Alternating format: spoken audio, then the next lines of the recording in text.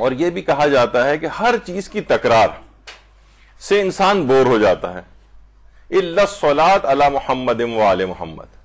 सिवाय इसके कि दुरूद ऐसे, ऐसी इबादत है जिसकी तकरार से इंसान कभी भी बोर नहीं होता। दुरूद भेजिए मोहम्मद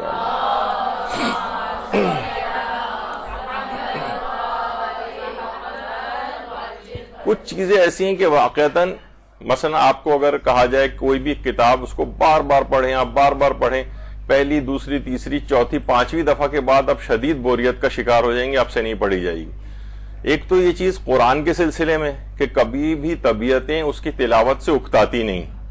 आप कितना भी कसरत के साथ तिलावत करते रहे, तबीयत उससे घबराती नहीं।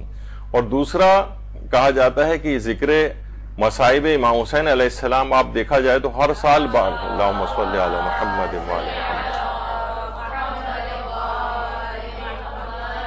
आप बार बार, हर साल वही एक तरह की मुसीबतें और मसाइब जो उनके ऊपर ढाए गए, वो बार बार सुने जाते हैं, बार बार सुने जाते हैं, लेकिन कभी भी तबीयतें उससे उकताती नहीं। और यही सलाहियत इसके अंदर भी है, दुरूद के अंदर, कि कभी भी इससे कोई बोरियत महसूस नहीं होती, कोई इसमिलाल नहीं होता, कभी आप से तकान फील नहीं करती हैं तो इसकी वजह यही है कि एक ऐसी इबादत है, कि जिससे कभी भी इंसान बोर नहीं होता है। और ये भी बात कही जाती है कि कुल्लुल आमाल बैनल कबूर कबूल वर्रद अला मोहम्मद मोहम्मद। जितने भी आमाल हैं, वो कबूलियत का इम्कान भी उसमें होता है रद्द का इम्कान भी होता है।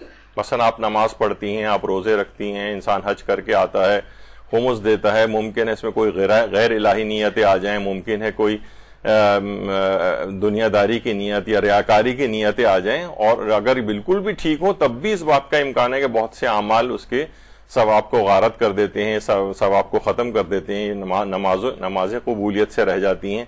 कहा जाता है, कुल्लुल अमाल, जितने भी अमाल हैं, बैनल कबूल व रद्द, यानी कबूलियत और रद्द के दरमियान में, मुमकिन कबूल हो जाए, मुमकिन रद्द हो जाए, सिवाय मोहम्मद वाले मोहम्मद पर सलावात के जिसे हमेशा कबूल ही होना होता। है